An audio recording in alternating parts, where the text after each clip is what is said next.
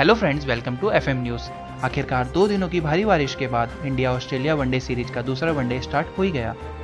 कोलकाता में पिछले दो दिनों से भारी बारिश हो रही थी, इस कारण यह मैच होने की संभावनाएँ कम ही थी। दोनों ही टीमें अभ्यास भी नहीं कर पाई थी, लेकिन फाइनली बारिश रुक गई और तय समय से मैच शुरू हो गया। भारत ने टॉस जीतकर पहले बल्लेबाजी करने का फैसला लिया। टीम इंडिया की ओर से ओपनिंग करने रोहित शर्मा और अजिंक्य रहाणे उतरे। भारतीय टीम में कोई भी परिवर्तन नहीं किया गया है और अजिंक्य रहाणे और मनीष वनडे को एक बार फिर मौका दिया गया है। वहीं रविंद्र जडेजा को फिर इस मैच में आराम दिया गया है। पहले मैच में हार्दिक पांड्या द्वारा बुरी तरह पिटने वाले ऑस्ट्रेलियन गेंदबाज एडम जंपा को इस बार प्लेइंग इलेवन में जगह नहीं मिल सकी। भारत की शुरुआत बेहद ही धीमी रही और पहले पाँच ओवर्स में मात्र उन्नीस रन ही बने। छठे ओवर की पहली गेंद पर रोहित शर्मा कैच आउट हो गए। इसके बाद क्रीज पर बल्लेबाजी करने विराट कोहली आए। इसके बाद दोनों बल्लेबाजों ने संभल कर खेलते हुए पंद्रह ओवर में टीम को एक विकेट के नुकसान पर बेहतर रनों तक पहुँचाया। अजिंक्य रहाणे और विराट कोहली ने संभल कर खेलते हुए टीम का स्कोर आगे बढ़ाया और दोनों के बीच 102 रनों की शतकीय साझेदारी हुई।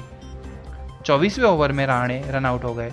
आउट होने से पहले राणे ने पैंसठ गेंदों में सात चौके लगाकर पचपन रन बनाए। इसी के साथ राणे के वनडे क्रिकेट में बीस तक भी पूरे हो गए। राणे के आउट होने पर मनीष पांडे बल्लेबाजी करने आए, लेकिन मनीष पांडे आज भी कुछ कमाल नहीं कर पाए और मात्र तीन रनों पर ही आउट हो गए। इसके बाद केदार जाधव मैदान पर आए हैं। भारत का स्कोर 29 ओवर्स में तीन विकेट के नुकसान पर 141 रन हो गया है और विराट कोहली पैंसठ रनों पर खेल रहे हैं। दोस्तों, क्रिकेट अपडेट्स के लिए एफएम न्यूज़ को सब्सक्राइब करें, स्टे कनेक्टेड स्टे अपडेटेड